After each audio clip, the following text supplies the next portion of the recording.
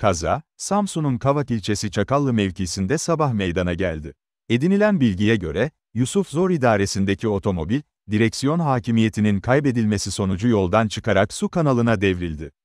Kazada, 8 kişi yaralandı.